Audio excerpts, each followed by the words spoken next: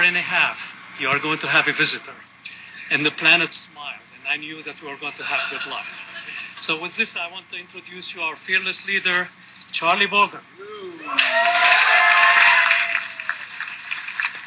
Boy, I tell you, uh, Charles, thanks very much. First of all, just let me let me say thanks very much to the entire team and all the teams not here. Uh, some of the teams in places like Canberra, Australia, and up in Goldstone, because the Deep Space Network was what made it possible for us to be getting all the data and everything. So, you know, but today, right now, the wheels of curiosity have begun to blaze the trail for human footprints on Mars. Uh, Curiosity, the most sophisticated rover ever built, is now on the surface of the red planet, where it will seek to answer age old questions about whether life ever existed there on Mars, or if the planet can sustain life in the future. This is an amazing achievement, made possible by a team of scientists and engineers from around the world, and led by the extraordinary men and women of NASA and our Jet Propulsion Laboratory. Nothing in robotic planetary exploration is harder, more technically challenging, or as risky as landing on the surface of Mars. And I know most of you are saying, how can he be saying that? It just looks so easy. Uh, trust me. Historically, counting all the missions by all countries, the odds of success are about 40%. The recent U.S. record is better, with now six successful missions, including now four landings. And um, I'm going to spray from my script here for a moment, which is always dangerous, but tonight, uh, and I'm not going to, I'm not probably not going to include all the countries, but tonight there are at least four countries, and I won't name them, uh, who are on Mars, and they're on Mars because they went with the United States. So. Uh, I, I know this may sound a little strange in this international environment, but I want everyone to understand what I say and what I mean when I say, you know, our leadership is going to make this world better. Uh, tonight,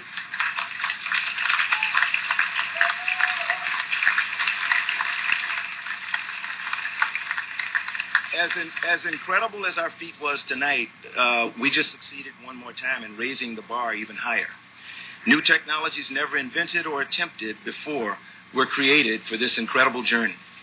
Curiosity's final descent was dubbed Seven Minutes of Terror because in its seven minute trip to the surface, it had to slow down from 13,000 miles an hour to zero.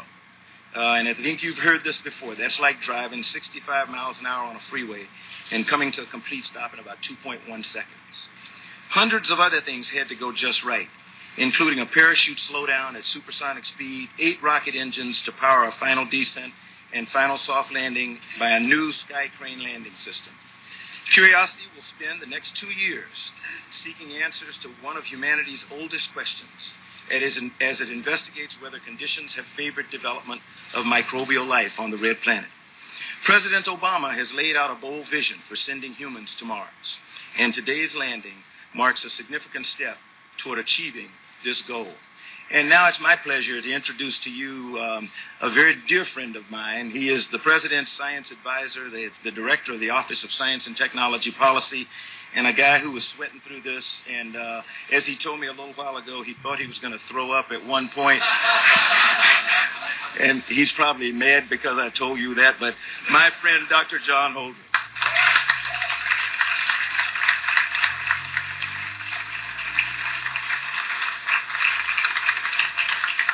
I wanted to start by saying thank you for sharing that, Charlie. well, today on Mars, history was made on Earth. The successful landing of Curiosity, which is, as Charlie has said, the most sophisticated roving laboratory ever sent to another planet, marks what is really an unprecedented technological tour de force. It will stand as an American point of pride far into the future. It's also just the latest example of a long-standing truth about the United States, that even the longest of odds are no match for America's unique blend of technical acumen and gutsy determination. Our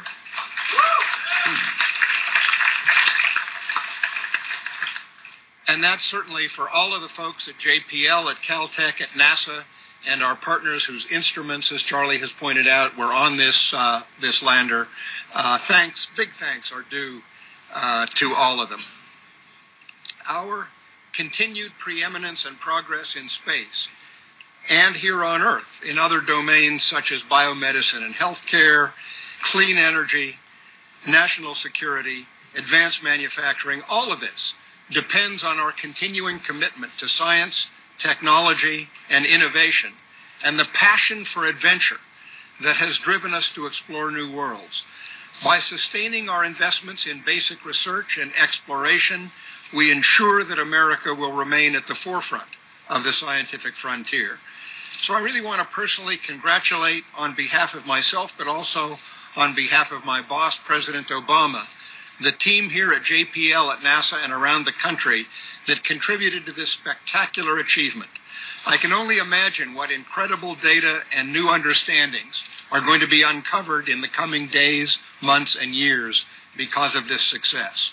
Landing the Mars Science Laboratory rover Curiosity on the surface of the red planet was by any measure the most challenging mission ever attempted in the history of robotic planetary exploration.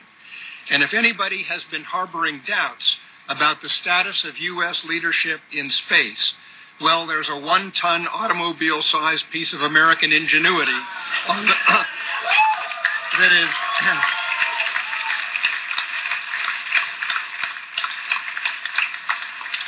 and it's sitting on the surface of Mars right now, and it should certainly put any such doubts to rest.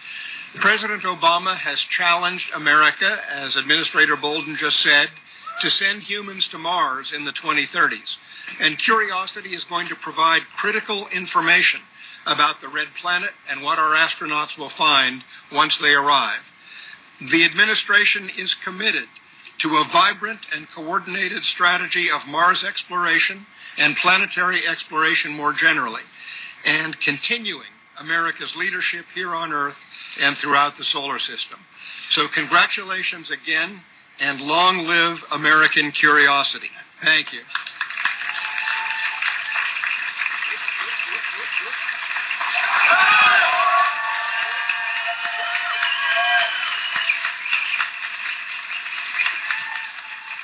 Let me thank all of you one more time. John Holdren and I, unfortunately, have got to go boogie to go somewhere else. We're going to leave you in the in the in the very erstwhile hands of Charles Elachi and the technical team, and and they've got a little bit more detailed stuff to tell you. So ha- have a great night, and congratulations to all of you again.